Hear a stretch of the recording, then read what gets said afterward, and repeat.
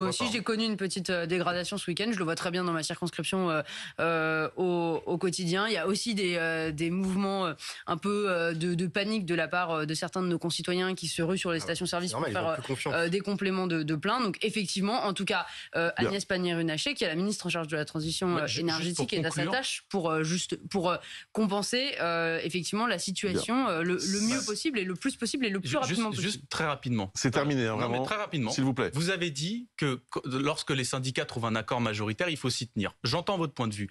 Mais dans ce cas-là, si à l'Assemblée nationale, la majorité des députés s'accordent, pourquoi est-ce que ça serait la minorité, c'est-à-dire les gens qui ont été mis en minorité, c'est-à-dire votre camp, qui devrait décider avec la 49.3 de ce qui est retenu ou pas dans le projet de loi de finances? En d'autres termes, vous demandez aux syndicalistes d'appliquer quelque chose que vous-même, vous n'allez pas respecter dans deux ou trois euh, Enfin, on verra. On verra.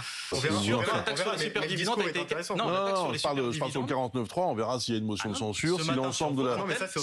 Mais, mais, mais, le discours de M. Guiraud est intéressant, effectivement, il a raison. Sur votre antenne, j'espère sur votre antenne, M. Bruno Le Maire, ce matin, a écarté la taxe sur les superdividendes qui venait de son propre camp, du Modem. Donc vous n'appliquez pas pour vous-même ce que vous demandez syndicats d'appliquer. Merci à tous les trois. On, on revient dans quelques instants, évidemment, sur cette situation de la crise du carburant. Et mon invité...